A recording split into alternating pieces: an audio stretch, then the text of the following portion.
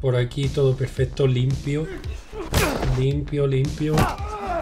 Más limpio que el jaspe, dicen en mi pueblo. Puedes llenarle la cara de hostias a media España y luego con una pequeña siesta seguir con la otra media. Bueno, papá, que a mí lo de dar hostias nunca me ha traído nada bueno, ¿eh? Resulta que el viernes apareció una muchacha preguntando por ti. No es mala hostia que tiene la chavala. Profundo viva la Mónica. Pero bueno, si está aquí el equipo al completo. Se acabó el régimen de libertad vigilada y chaval, eres libre.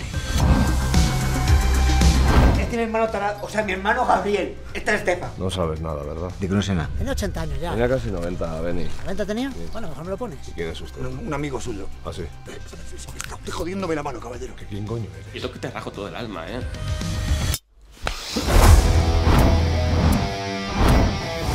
Bueno, a ver, a mí solo me necesitabais para cuando llegara este día. ¿Qué película me estás contando, hijo de puta? Muchas gracias. Tarado. Dime que no estáis enredados con los Zubiri. No, ¿qué va? ¿Qué ha pasado, Tinin? Ey, Chiri. Los coches. Seguimos a Chiri. Uno de los hijos de Tino todavía está viviendo en la El casa. animalito tiene unos brazos que parecen dos lacones. Aquí tenéis la pasta. ¿Qué pasta? ¿Cuánto hay? Estefan me dijo que 15.000. 15.000 pollas. Ahí hay mucho más. Dos para adentro. ¿Y si es una trampa? ¿Vosotros eh, dónde pensáis que estáis? ¿En solo en casa?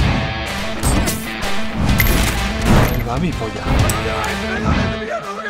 Este es el revólver de una sola bala. Si esta chica no, o sea, las malas compañías que se jodan. ¿Qué puta verbena es esta? Que vengan los que quieran. Tarado tiene hostias para todos. ¡Rodead la puta casa!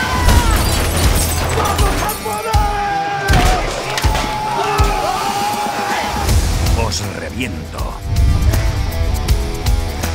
¿Te imaginas? ¿Eh? Que te meten un fregado gordo.